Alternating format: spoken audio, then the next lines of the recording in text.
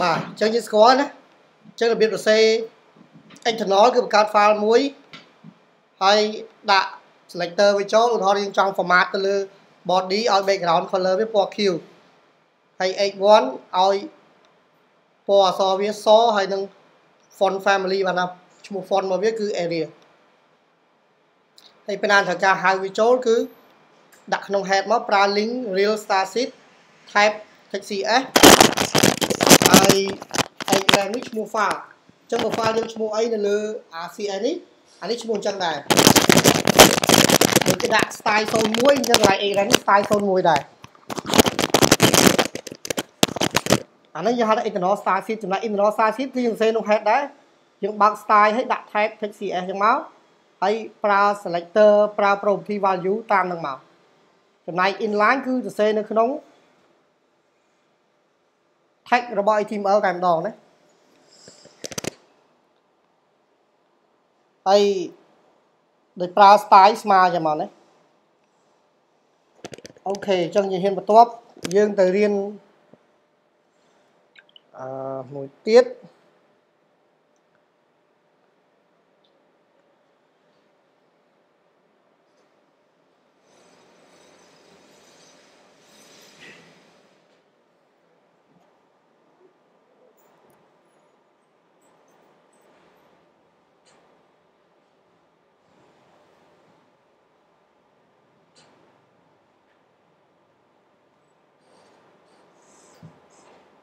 បាទគេហៅ group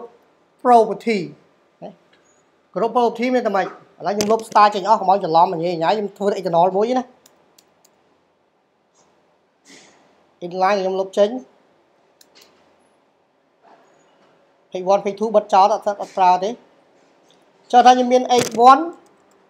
ខ្ញុំមាន h2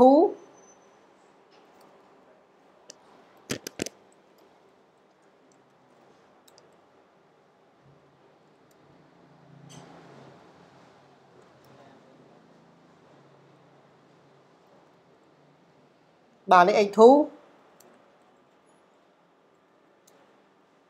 ហើយខ្ញុំមាន p ខ្ញុំចង់បដូរពណ៌3ហ្នឹងឲ្យទៅតាមគ្នាតែមួយណាខ្ញុំចង់ដាក់3ពណ៌ហ្នឹងពណ៌វា green អញ្ចឹងយើងចូលមក style មកនេះកន្លែង A1 នេះយើងប្រើក្បៀសដើម្បីខណ្ឌចែក property បន្តទៀតក្បៀសមក A2 ក្បៀសមក P ហើយ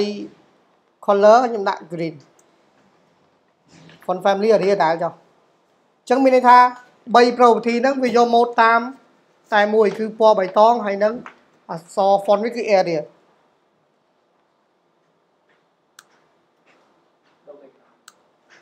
ក្រៀនដូចគ្នានេះអត់តសេវអត់តសេវនេះនេះចឹង3នេះយកតាម mode តែមួយអានេះយើងហៅថា group property group property អត់ប្របាក់ទេគឺគ្រាន់តែប្រើសញ្ញាក្បៀសដើម្បីខណ្ឌចែក selector មួយមួយបន្តបន្តគ្នាចឹងមក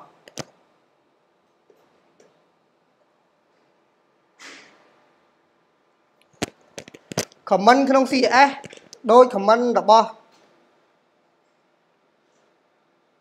C C+ ឲ្យដែរណាមានចាំ comment HTML ទេគេសេមិន comment HTML បាទ អញ្ចឹង comment គឺប្រើសម្រាប់គេហៅថាទី1បិទកូដកុំឲ្យរ៉ាន់ទី2គឺសម្រាប់ note ចំណាំខ្លួនឯងឥឡូវ HTML យើងបិទកូដ H2 មករ៉ាន់យើងប្រើនេះ comment របស់ HTML អញ្ចឹង H2 នេះនឹងមិនត្រូវបានឃើញទេទេដោយសារវាคล้ายទៅជា comment ហើយណាដោយឡែក comment របស់ style គឺ slash ផ្កាយហើយនឹងបិទវិញដោយផ្កាយ slash ចឹង H1 H2 P នេះវាបដូរតែពណ៌បៃតងទេរឿងឈ្មោះ font ឈ្មោះអីវាអត់ដូរតាមទេ default វាគឺ Times New Roman